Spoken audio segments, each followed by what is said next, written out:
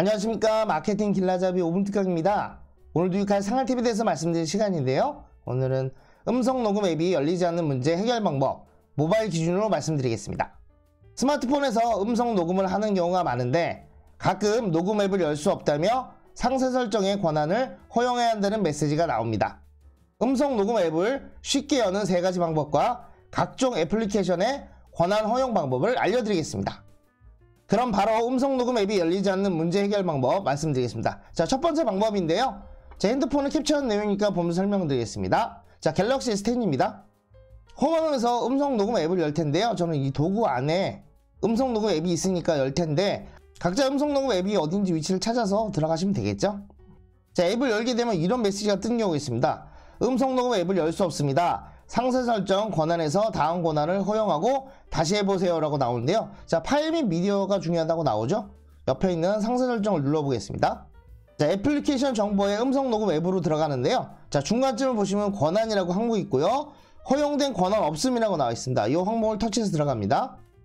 그럼 앱 권한이라고 나오면서 허용된 항목에 허용된 권한 없음이라고 나오죠 그 밑으로 내려가 보면 허용되지 않은이라고 나오는데 근처기기, 마이크, 전화, 파일 및 미디어 자, 이 네 가지 항목 다 허용되지 않은 거죠. 권한이 허용되지 않았기 때문에 이걸 허용대로 바꿔줘야 됩니다. 자, 근처기기부터 들어가 보겠습니다. 자, 허용, 허용 안함 이렇게 나오는데요. 허용 안함인데 허용으로 바꿔놓겠습니다. 다시 되돌아가고요.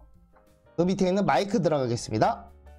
자, 앱 사용자만 허용, 허용 안하면서 바꿔내야 됩니다. 자, 항상 확인이라는 거는 이 권한을 실행할 때마다 물어보는 거니까요. 앱 사용자만 허용이 더 낫습니다. 위에 두 가지 항목이 허용됨을 옮긴 거 보이시죠? 그 다음에 전화 눌러 보겠습니다. 마찬가지로 허용 누르시고요. 자, 마지막 제일 중요한 파일 및 미디어를 눌러 보겠습니다.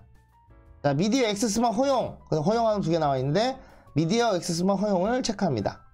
자, 이렇게 되면 네 가지 항목들이 다 허용대로 바뀐 걸 확인할 수 있고 허용되지 않으면은 거부되는 권한 없음이라고 나와 있죠. 이렇게 되면 끝난 겁니다. 자, 바깥으로 나간 다음에 음성 로그 앱을 다시 누르게 되면은 정상적으로 실행되는 걸 확인할 수 있습니다. 이번에는 음성 로그 앱이 열리지 않는 문제 해결 방법 두 번째 방법 알려드리는데요. 아까 동일하게 음성 로그 앱이 있을 때 1초간 꾹 누르고 있습니다. 그럼 이렇게 별도의 팝업 창이 뜨게 되는데요. 자, 음성 로그 한 번에 떠 있고 오른쪽 상단 보시면 i 동그라미 아이콘이 보일 건데요. 여기를 터치해서 들어갑니다. 그럼 바로 애플리케이션 정보 항목으로 넘어가고요. 자, 권한 똑같이 들어가면 되는데요. 아까 본 것처럼 근처 기기, 마이크, 전화, 파일 및 미디어 네 가지 항목들을 다 권한 설정하면 되겠죠. 저는 이미 해놨기 때문에 별도로 설명하진 않겠습니다. 이번에도 음성 녹음 앱이 열리지 않는 문제 해결 방법 이번에 세 번째 방법인데요. 이번에는 설정에서 하는 방법 알려드리겠습니다. 홈화면에서 설정으로 들어갈 텐데요. 바탕화면에서 이렇게 톱니바퀴 아이콘 설정 있으면 들어가시고요. 아니 상단바 내리거나 찾아서 들어가시면 되겠죠. 자 설정 들어가시면은 밑으로 쭉 내려갑니다. 그럼 중간쯤에 애플리케이션 항목이 있을 겁니다. 일로 들어가시면은 자 애플리케이션 앱 목록이 나올 텐데요. 알파벳 순으로 가나다라 순으로 쭉 밑에 나옵니다. 그래서 쭉 밑으로 내려봐야겠죠? 자 그럼 항목 중에 음성 녹음이라는 항목이 나올 때까지 가시면 됩니다. 검색을 하셔도 상관없습니다. 자 터치해서 들어가시면은 자 아까 동일한 화면 나옵니다. 애플리케이션 정보에 음성 녹음 나오고요. 권한 똑같이 네 가지 항목 보이는 거 아시죠 동일하게 들어가서 허용으로 다 바꿔놓으시면 됩니다. 자, 이렇게 음성 녹음 앱 설정 방법 말씀드렸는데요. 동일하게 애플리케이션 권한 설정 방법 말씀드리겠습니다. 자, 음성 녹음 앱이 아니라 다른 앱들도 동일하게 적용이 가능한데요. 저는 이제 예를 들어서 네이버 지도로 한번 해보겠습니다.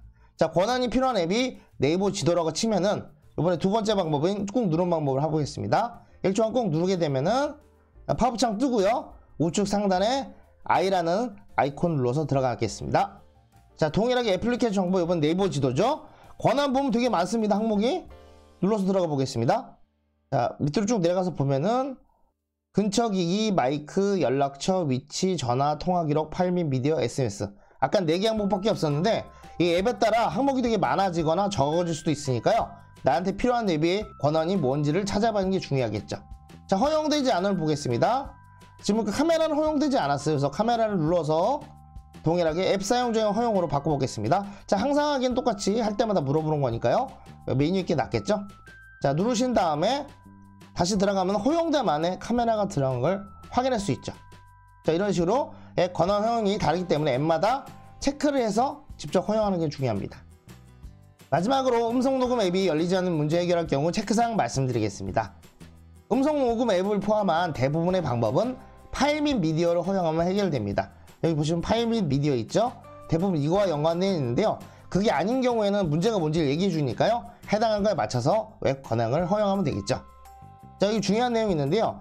자주 쓰거나 중요한 앱은 권한을 삭제하고 여유 공간 확보라는 요 항목을 활성화되어 있는데요. 요걸 비활성화해 주는 게 좋습니다. 자, 왜 그러냐 밑에도 나와 있는데 데이터 보호를 위해 몇 개월 동안 앱을 사용하지 않으면 권한이 자동 취소가 됩니다.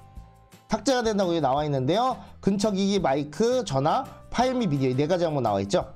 그래서 오랜만에 음성 녹음 앱을 실행한 경우에는 권한이 삭제됐기 때문에 실행이 안 된 겁니다. 그래서 이 항목을 끄시면은 오랫동안 시간이 지나도 권한이 삭제되지 않으니까 상관없고 만약에 내가 자주 안 쓰는 거라면 이렇게 한 다음에 상황에 따라서 권한을 다시 부활시키면 되겠죠.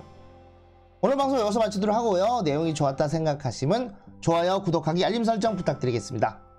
그럼 다음 시간 또 인사드리겠습니다. 감사합니다.